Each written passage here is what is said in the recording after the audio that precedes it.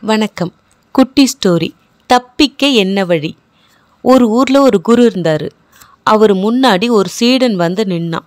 சுவாமி எனக்கு ஒரு பிரச்சனை அப்படின்னா. உனக்கு என்ன சிக்கல்? விவரமாக சொல்லு அப்படின்னாரு குரு. சுவாமி இந்த ஊரில் ஒரு பெரிய செல்வந்தர் இருக்கார். அவர் வெளிநாடுகளுக்கு யாத்திரை போக போகிறாரு அவர் போயிட்டு திரும்பி வர பத்து மாதம் ஆகுமா அவர் வெளிநாடு போகிறதுல உனக்கு என்ன சிக்கல்? அப்படின்னு கேட்டார் குரு. அந்த செல்வந்தருக்கு ஒரே ஒரு பொண்ணு. அந்த பொண்ணை என்னுடைய பாதுகாப்பில் விட்டுட்டு போகணும்னு பிரியப்படுறார் அப்படின்னா. சரி போகட்டுமே அதனால் என்ன? அப்படின்னார் குரு. இப்போ அந்த சீடன் சொல்கிறான் சுவாமி என்னை இந்த ஊர்லேயே எல்லாரும் ரொம்ப நேர்மையானவன்னு சொல்கிறாங்க அதுக்கு தகுந்த மாதிரி தான் என்னுடைய மனசையும் நான் பழக்கப்படுத்தி வச்சிருக்கிறேன். இருந்தாலும் என் மேலே எனக்கு முழு நம்பிக்கை இன்னமும் வரல. பத்து மாச காலம் அந்த பெண்ணை நான் பாதுகாப்பாக எங்கள் வீட்டில் வச்சிருக்கணும்னா எனக்கு பயமாக இருக்குது அதனால என்னுடைய இந்த பிரச்சனை தீர என்ன வழி? நீங்கள் தான் சொல்லணும் அப்படின்னா. இப்போ குரு சொன்னார் இதோ பாருப்பா இது மாதிரியான சிக்கல்லேருந்து தப்பிக்கிற ரகசியம் தெரிஞ்ச ஒருத்தன் இருக்கான். அவனை எனக்கு தெரியும். நீ நேராக அவனை போய் பாரு அப்படின்னு சொல்லி அவனை பற்றி எல்லா விவரமும் இருக்கிற இடத்தையும் சொன்னார்.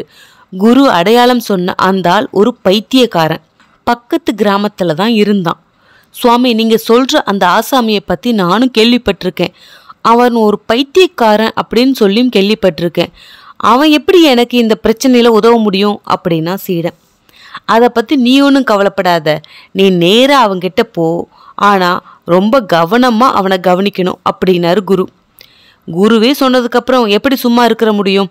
நேராக அடுத்த ஊருக்கு போனால் அந்த பைத்தியக்காரனை பார்த்தான்.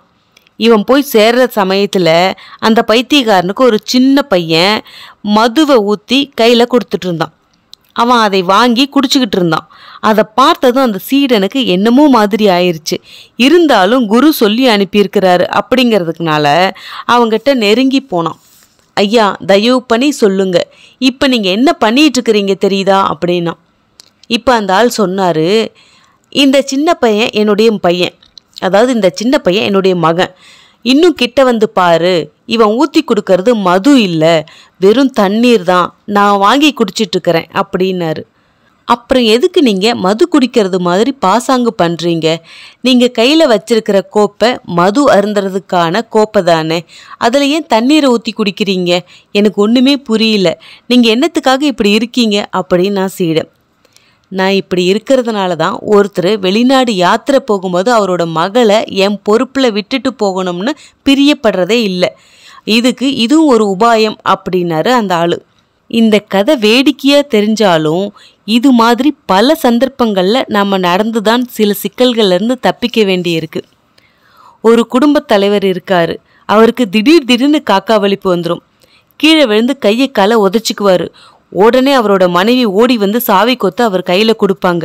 அதுக்கப்புறம் வலிப்பு நின்றும் வலிப்பு நின்று போயிடும் எழுந்திரிச்சிருவார். ஒரு நாள் ஒருத்தர் அவர்கிட்ட கேட்டார் ஏன் சார் காக்கா வலிப்புக்கும் கையில் சாவி கொத்து கொடுக்கறதுக்கும் சம்மந்தமே இல்லையே அப்படின்னாரு. ஏன் சார் காக்கா வலிப்பு வர்றதுக்கும் கையில் சாவி கொத்து கொடுக்கறதுக்கும் சம்மந்தமே இல்லைன்னு டாக்டர்லாம் சொல்கிறாங்களே உங்களுக்கு மட்டும் அது எப்படி சரியாகுது? அப்படின்னு கேட்டார்.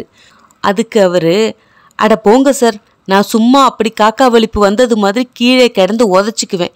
அது ஒரு உபாயம். அதை தவிர வேற எந்த வழியிலேயும் என் மனைவி கையில் இருக்கிற பெட்டி சாவியை என்னால் வாங்கவே முடியாது அப்படின்னாரு.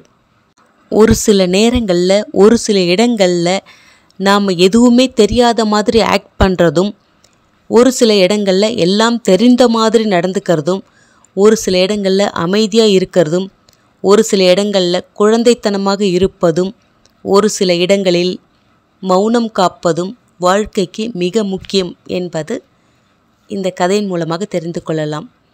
சிந்திப்போம் செயல்படுவோம். நன்றி.